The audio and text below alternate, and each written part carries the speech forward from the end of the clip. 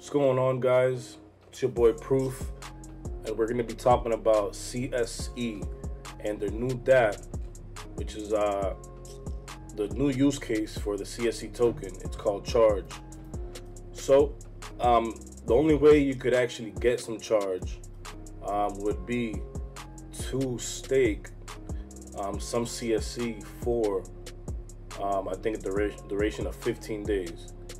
So um, it's really low supply. It's only 15,000 um, charge, um, and I put almost 70,000 CSE here. So um, really though, I, I seen it go from 5,000 Tron now to 10,000 Tron.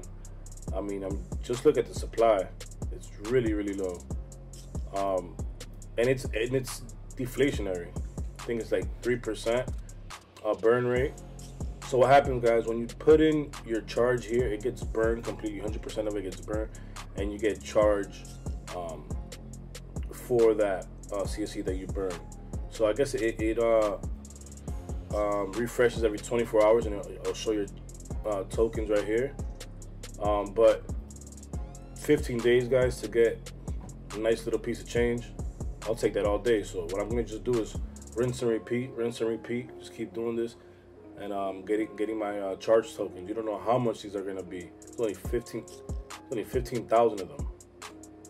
You just don't know how much they're gonna be. So, um, I'm gonna leave my link down in the description. Um, just so when you get into the auction, um, because once you get into the auction, guys, this is the this is the only way you're gonna be able to get DSP. I mean, you, you could get it from just JustSwap, but you don't want to do that. You want to do it through here and support the community, and you could just enter here, put how many Tron you want, um, and then when when this timer's over, you would get um, your CSE for your Tron, which um, you could come and stake it here.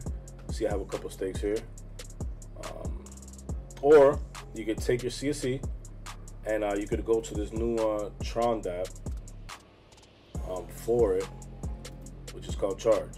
So it's easy. Just go to auction with your Tron, get CS, CSE, and then stake it for Charge.